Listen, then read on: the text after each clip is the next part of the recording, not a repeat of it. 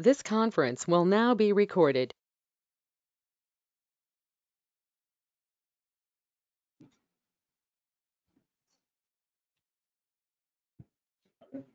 Good morning, everyone. Thank you once again for coming microbiology class.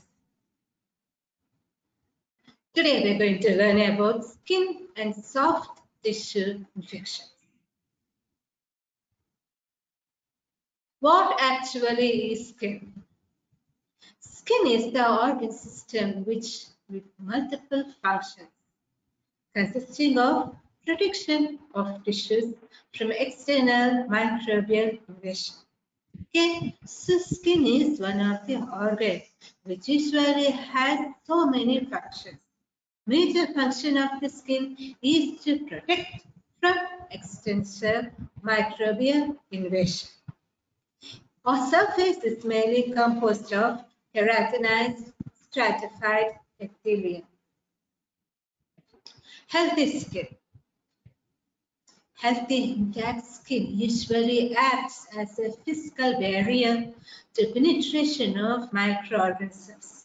Yes, when we have an healthy intact skin, usually microorganisms cannot enter into our body easily.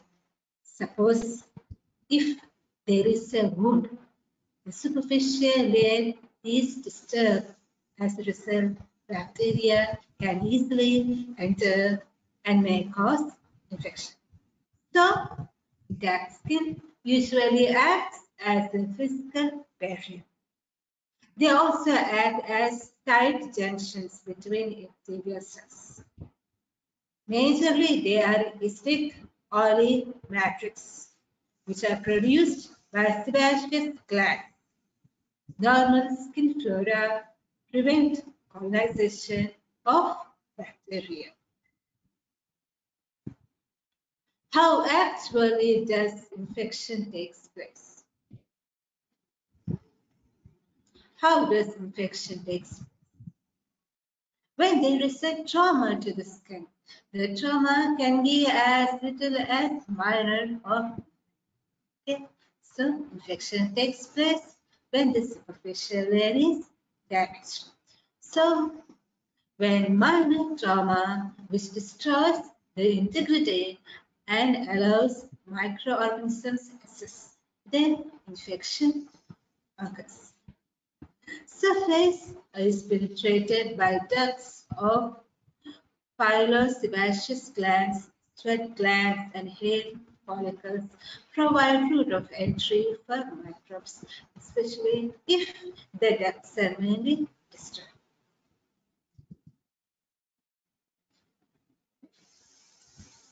Mode of infection. How does infection takes place?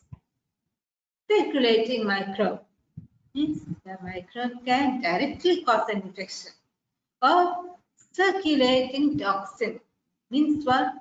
The bacteria has to enter into your body, the bacteria has to produce the toxin and then only infection can take place. And direct inoculum of microbe into epithelium. So these are the modes of infection of skin and soft tissues. Pathogenesis of skin and soft tissue infection. To cause an infection, organisms must penetrate the microbial skin barrier. Okay, so in order for the microorganism to cause an infection, it has to cross the barrier. Our skin usually acts as a protecting layer. As long as we are healthy and as long as our skin is intact and healthy, the microorganisms cannot enter. But if there is any damage, then the microorganism can cross the barrier and cause infection. Okay? It may be also due to trauma. Symptoms of skin infections. Common symptoms are pain, vomit, skin discolorization, swelling, and the presence of vesicles, or lesions. These are the common symptoms of skin infections.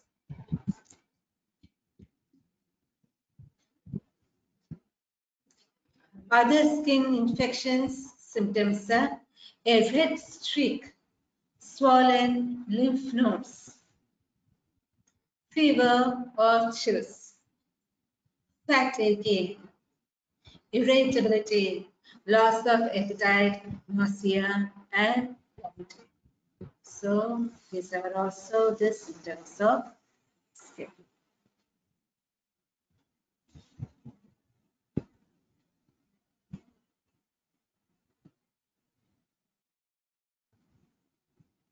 Categories of skin infections. Infections caused by skin can be localized or spreading. Okay, the infection may take place at the particular site or it can spread. They may be complicated or uncomplicated. Uncomplicated means infection of the superficial layers only. If infection takes place on the superficial layer, then they may be uncomplicated. If it involves into the deeper part of the skin, then they can be complicated. Skin and soft tissue infections. What are these skin and soft tissue infections?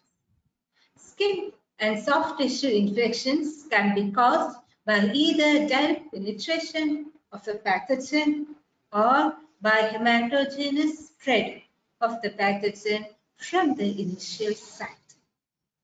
Skin and soft tissue infections can be classified on the basis of the anatomic level at which the infection takes place. That is, whether the infection takes place superficially or it takes place. Okay, so definition. What are skin and soft tissue infections? These are infections which are caused by either direct penetration of the pathogen or by hematogenous spread of the pathogen from the initial site. Means what? The pathogen may enter into your body, then they enter into the bloodstream. From the bloodstream, they can be distributed to various parts to cause infection. Next one, they can be classified either as superficial or deep depending upon the site of the skin that is involved.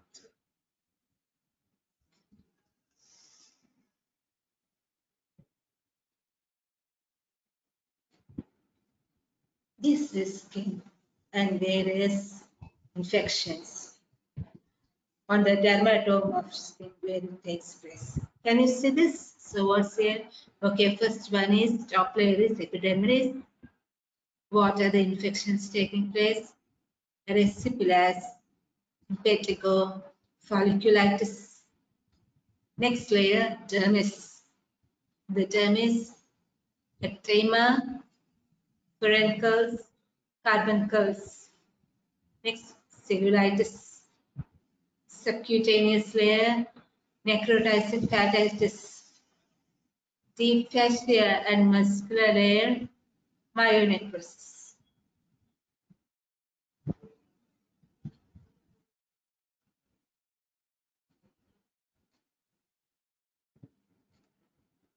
Next, infections of skin and soft tissue. Infection of skin and soft tissue can take place in any way. The infection may be on the skin or in the subcutaneous tissues or in the muscles some important skin and soft tissue infections. First one, erysipelas.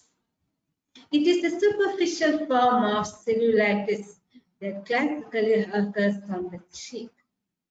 It is almost always caused by group A streptococci. The infection is primarily seen in children and in elderly. So what is this? Erysipelas is a superficial form of cellulitis which mainly occurs on the cheeks, on this part of the cheeks, okay? And the cheeks will become red and swollen. This erysipelas is majorly caused by a streptococci. Erysipelas is a bright red to violaceous raised lesion that is sharply demarcated and expands rapidly in centrifugal fashion. So what cheeks, okay, wherever the skin is affected, it will become red, red in color and also the lesions usually expand in circulatory fashion. Vesicles are bulbae occur. An erysipelas is accompanied by fever, pain, malaise. Chills are generally present, but bacteremia is uncommon or even absent.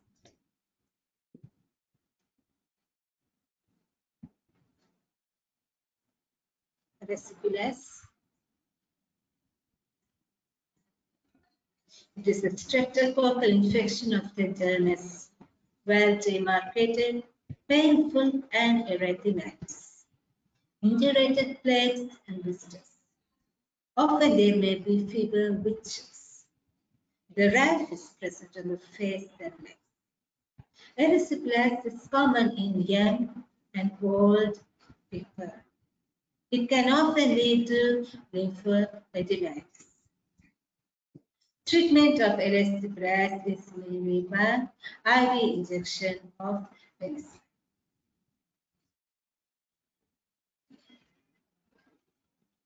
See this? Can you note the picture? Reddish skin.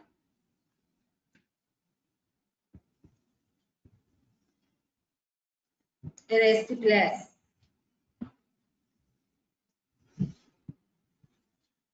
Next, in impetigo. It is a contagious superficial infection of skin. Keep in brain, impetigo is contagious, so it can spread from one person to another, but erysipelas is non-contagious. Mainly caused by staphylococci or beta hemolytic streptococci. This infection is common in children usually involves the face, skin of face, often around the mouth and nose. Skin of face, okay, the nose, this nose area and the mouth area is part of the area infection express. Spreads by direct contact. Minor abrasions and other skin lesions are predisposing factors Prevention. Since it is a contagious infection, prevention is by good personal hygiene, personally handing, hand washing. Impetigo is further divided into two main types. One, bulbous and non-bulbous. Non-bulbous is caused by Streptococcus pyogenes honey, crust, like lesions. Second one is bulbous, is caused by Staphylococcus aureus, rupture of the vein, watch like crust. Okay, so differentiate between bulbous and non-bulbous type. Non-bulbous vertigo is caused by non-bulbous streptococcus. Bulbous Staphylococcus, non-bulbous lesions are honey crust, whereas bulbous they are varnish.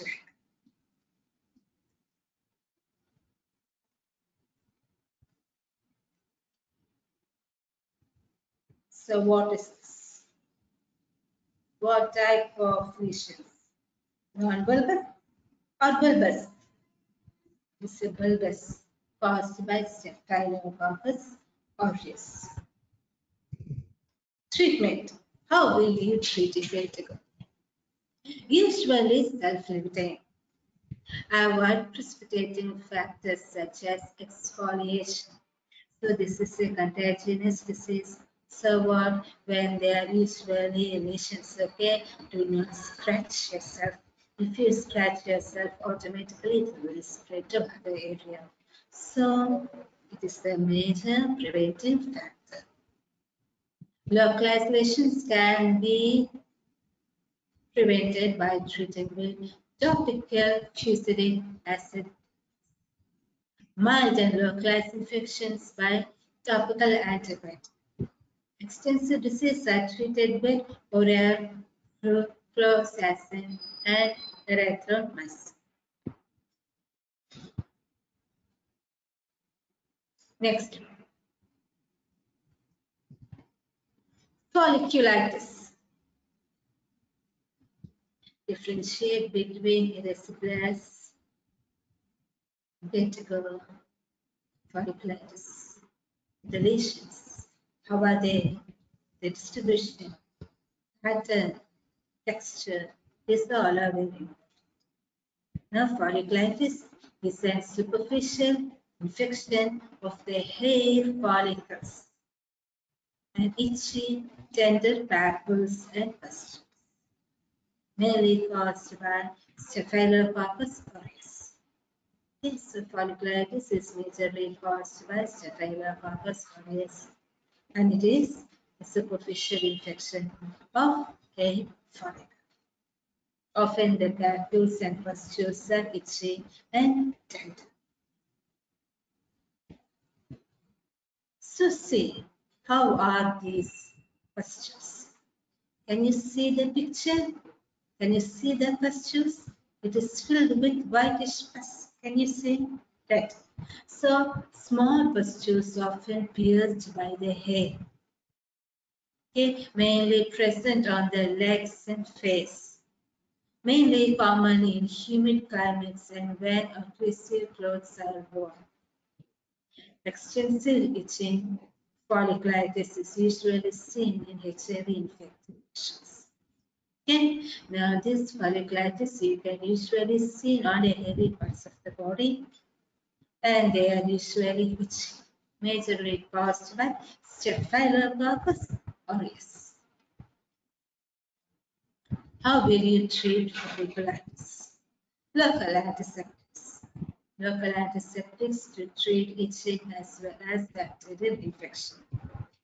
Topical sodium fusidate, mupirocin, mupirocin containing ointment, and oral antibiotics such as erythromycin. If chronic, detect and treat carefully state. Next one, boils. So what are boils? Is mainly caused by staphylococcal. It is the staphylococcal infection of the deeper part of the hair follicle. Now, staphylococcal infection of hair follicle superficial layer is called as folliculitis, whereas if it involves the deeper layer, it is called as boils of furunculus. Most common on the face neck, armpit, buttock, and thighs. On central face, danger of cavernous sinus thrombosis. Balls are usually tender, flat, cone shaped, which usually swell and heal with scarring. They may recur again and again. Treatment antibiotics. If ball is large, then you have to do incision in order to remove the pus. Next one, carbuncle. It is a deep staphylococcal infection of several adjacent hair follicles.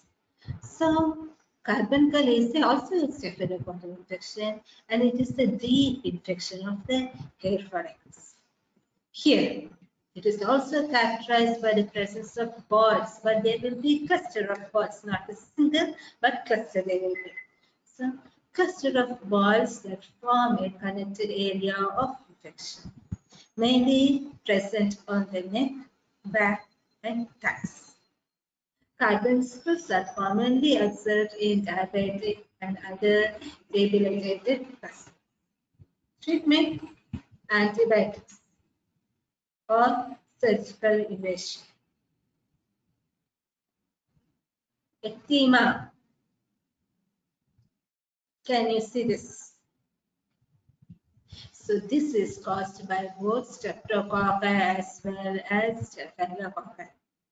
Ulcers usually forms under a crusted surface of infection and heals with scars. So what is this? Lesions takes place. Then they become ulcerated and later they form a crust. They heal away, but scar is left permanently. Predisposing factors of this infection are poor hygiene and malnutrition. Minor injuries and also other skin conditions may determine. So this ecthyma is majorly caused by poor personal hygiene as well as those people who are malnourished. So what is the treatment? Improved hygiene and nutrition. Antibiotics can also be given. Next, cellulitis.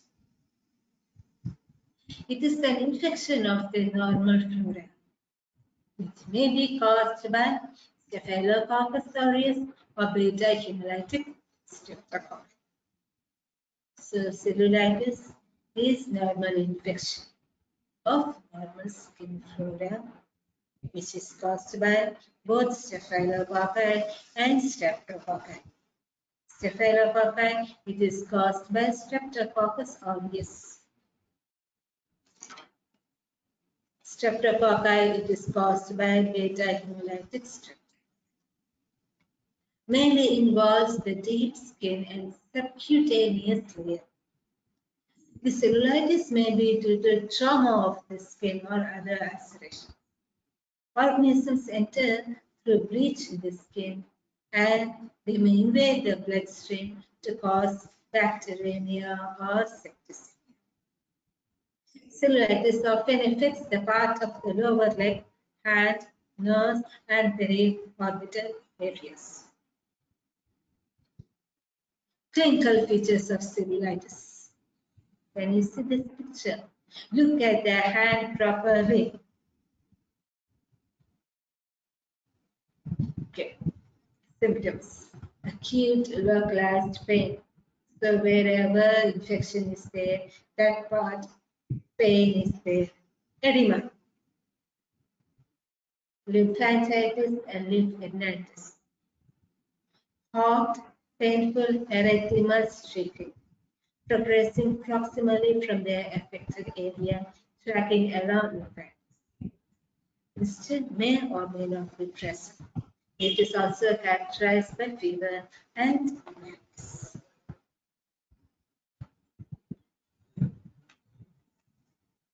See these are pictures of cellulitis.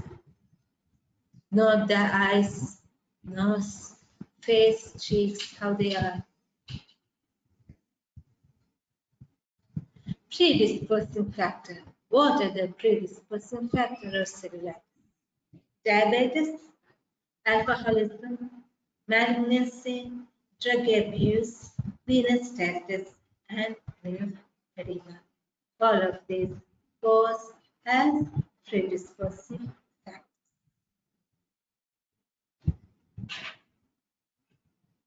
Cellulitis. Please see the pictures, first one and second one. See how are they? They are crusted, right? They are edematous, right? And they are erythematous, right? Investigation cellulitis I can investigate. First of all, you have to collect the sample, right? So first point is collect the sample from the correct site and perform gram staining as well as blood cultures.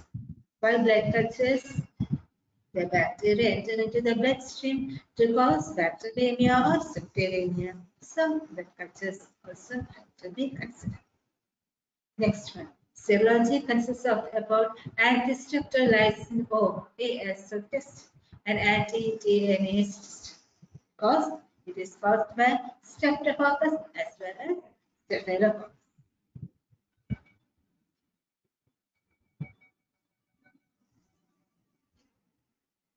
Management. How will you manage? Elevating the limb which is affected, treating underlying cause and by using different antibiotics. Next one, skin abscess. What do you mean by skin abscess? Which part of the body is involved? Subcutaneous layer. So skin abscess is a subcutaneous infection which is characterized by the formation of pus, localized pus, which is surrounded by granulomatous tissue. Mainly, it is as a result of some injury or infection of the hematoma. Can you see this? There is an abscess as well as there is cellulitis also. Okay, so what are the clinical features of this? Cellulitis is there. Next, skin is swollen. Next, soft, tender. Next, how is it?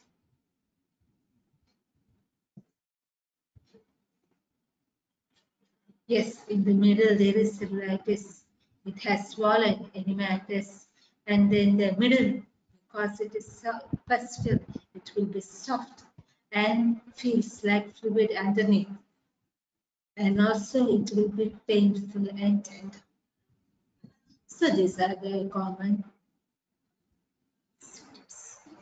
this is mainly caused by Staphylococcus aureus. Predisposing factor is poor. Treatment, incision, and drainage we have to remove the pus. So the best method of treatment is incision and trench.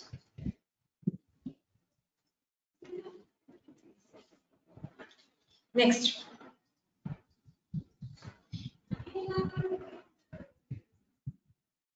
Necrotizing fasciitis. It is a clinical emergency polymicrobial infection of the fascia, which is usually caused by so many types of bacteria. First one, which is caused by mainly Enterobacteriaceae and Clostridium, and type 2, which is caused by Streptococcus. Say family, what are they? Coli, Proteus klebsiella, all of these can cause necrotizing fasciitis. Other than these, Pseudomonas can also cause necrotizing fasciitis. We proceed rapidly to underlying muscle. Diagnosis is often delayed because it usually looks same as that of other infections.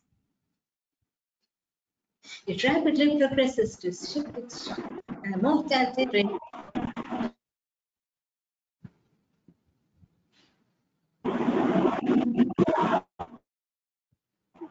Please see the diagram properly. What is this?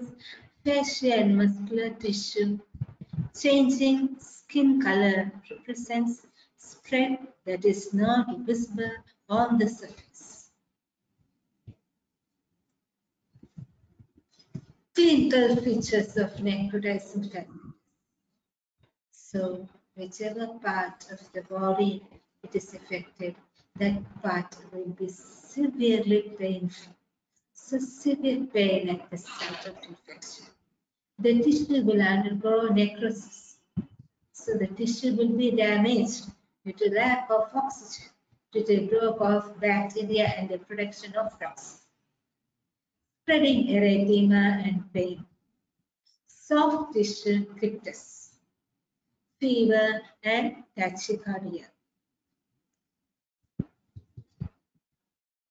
Diagnosis based on the signs and symptoms and also by imaging, that is air in the tissues.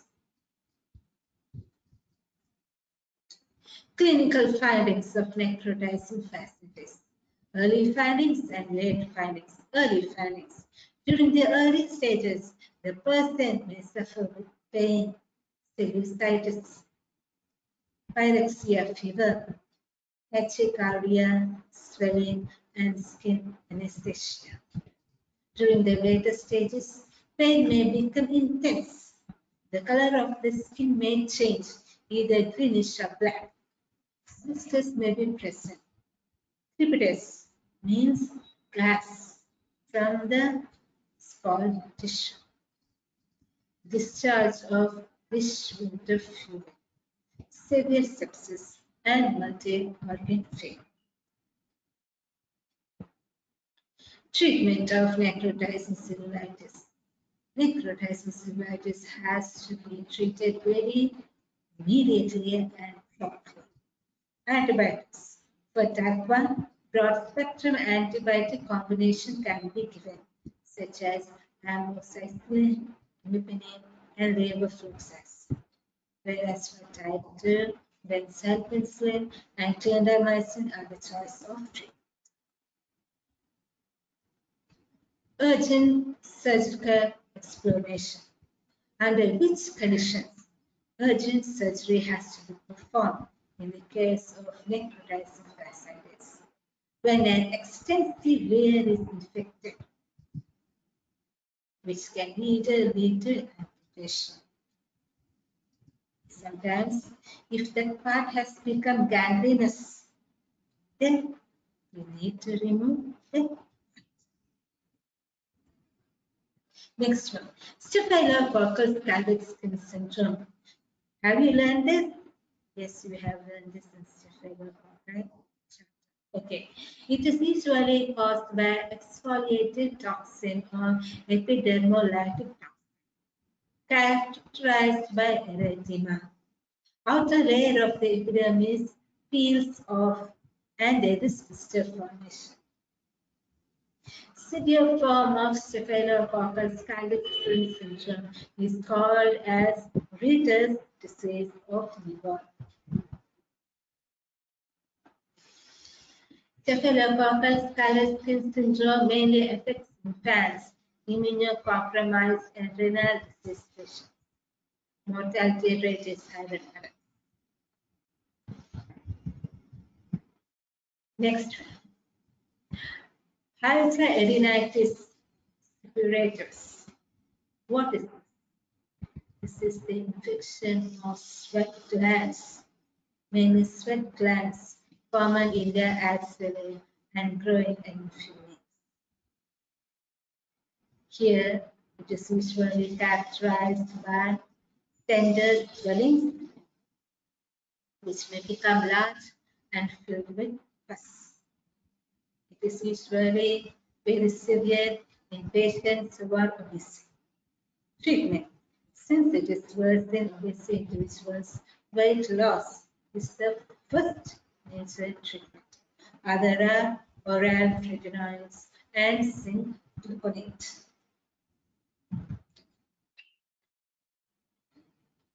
Erythrasma.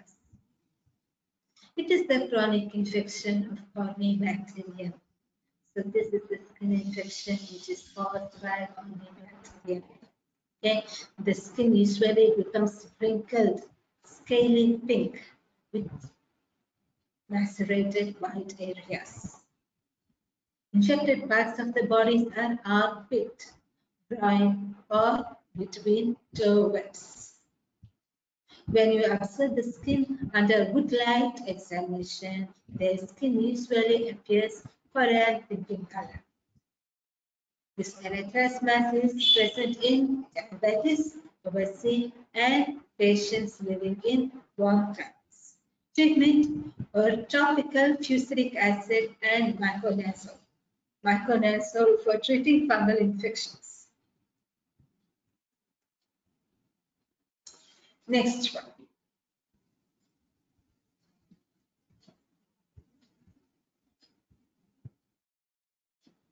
gangrene. What is this gangrene? Do you know which bacteria causes gangrene? Yes, Clostridium. Clinical situation where extensive necrosis takes place, which is complicated by bacterial infection. So there is necrosis of the underlying tissue. The tissue will become discolorized and it is usually filled with pus. Okay, fluid. And the gangrene is further divided into dry gangrene, wet gangrene, and gaseous gangrene. Predisposing factor, major reason when there is a severe infection of the burn or muscles. When the part of the body is severely damaged, the muscles are also severely damaged, then it can lead to gangrene. Ischemia due to arteriosclerosis and diabetes. Now there are three types of gangrene. What are they? Dry, wet, and gas. What is dry? It is uh, as the result of coagulated necrosis. That part usually becomes black and dry. Secondary bacterial infections are common. Example, gangrene of extremities in thromboembolic occlusion of vessels. Wet gangrene. It is a tissue necrosis, swollen, reddish, foul-smelling tissue. Extensive liquefaction of dead tissue occurs. Example, diabetic gangrene of foot and bowel. When you see this, this is gangrene of foot. Down one, gangrene of fingers.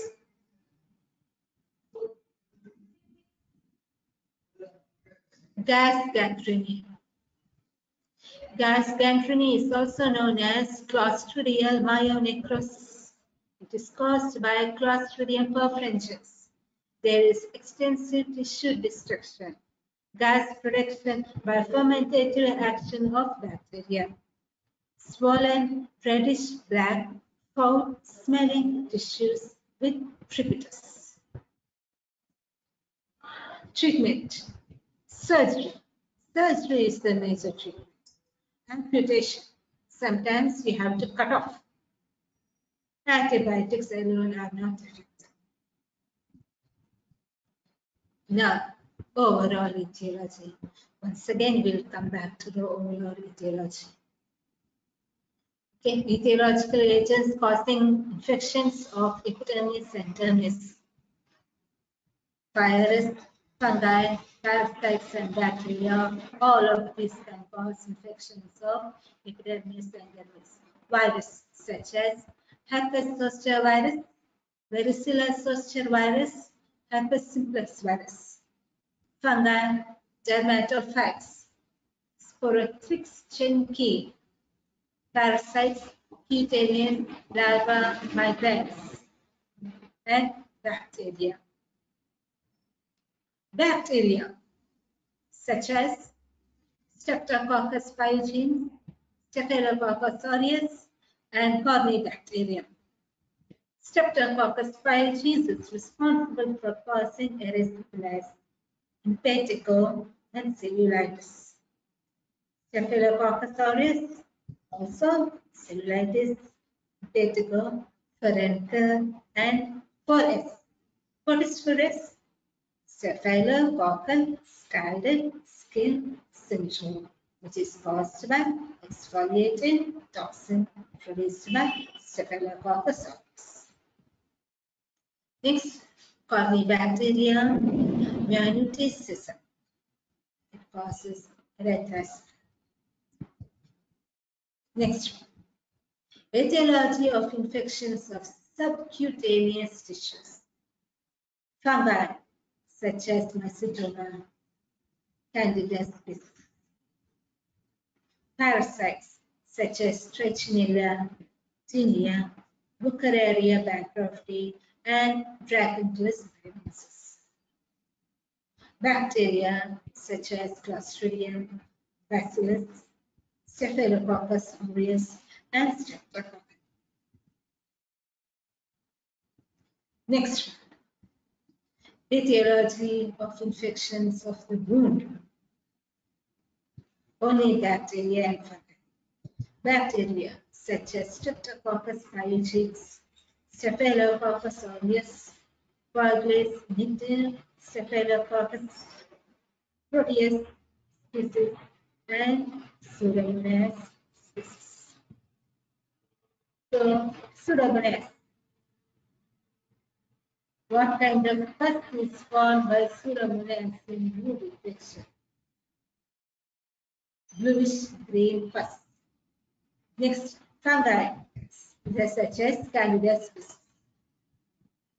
Next one, etiology of infections of burn wounds. Differentiate between common wounds and wounds which are caused due to burns. Burns, bacteria, Coagulase negative staphylococci, Enterobacteriaceae such as Escherichia coli, Klebsiella proteus, and Pseudomonas. Fungi such as Aspergillus species and Candida species. Next, lab diagnosis of skin and soft tissue infections. Specimen collection. The first thing in lab diagnosis is to collect proper specimens from proper site. First one is first. You can collect first by incision drainage, needle aspiration, or by using a sterile swab. Fluid, needle aspiration, or by using sterile swab. Dermatophyte infection, scraping from the active border of lesions. Erythroid, skin biopsy, subcutaneous infection, sample collected from base of lesion, surgical biopsy of deep tissue. Diagnosis. Consists of about perform microscopy as well as inoculate onto culture media. Now first one, microscopy. Perform gram staining for bacteria and see whether they are gram positive or gram negative. Then, if gram positive bacteria means see if they are present in clusters or chains. Clusters means Staphylococcus aureus. Chains means Streptococci. Okay, if clusters is there, again perform coagulase test to differentiate between Staphylococcus aureus and coagulase negative Staphylococci. Gram negative means differentiate if they are from Enterobacteriaceae or from other family. Perform oxidase test. If it is oxidase negative, place it under Enterobacteriaceae. Oxidase positive, place it under Pseudomonas. Next one, Ziehl-Neelsen's stain to see if they are acid bacilli or non-acid form. If it is a fungal infection, perform KOH mount. Next, for virus, perform Tzanck smear for herpes simplex virus and varicella zoster virus. Culture. So first one is microscopy over and next one is culture. Bacterial culture and fungal culture. For virus, no culture. For Perform antigen antibody testing. Fungi.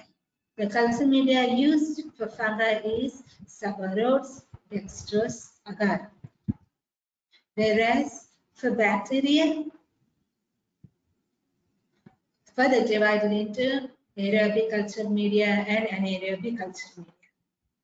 Aerobic culture media such as MacConkey agar, blood agar, chocolate agar, and other medium are employed.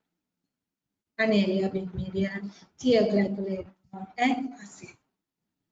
If there is any growth on the culture media, we have to put biochemical reaction to identify the specific organism. And also we have to perform antibiotic sensitivity. So these are the laboratory diagnosis of skin and soft tissue infections. So what is this? First of all, you have to collect the specimen, right? After collecting the specimen, do microscopy, for preliminary diagnosis, presenting diagnosis, and also inoculate into culture media. If there is any growth on the culture media, perform biochemical reaction to identify that specific quantity and also put antibiotic sensitivity for us to know which antibiotic is Okay, so that's all for today's class. Thank you.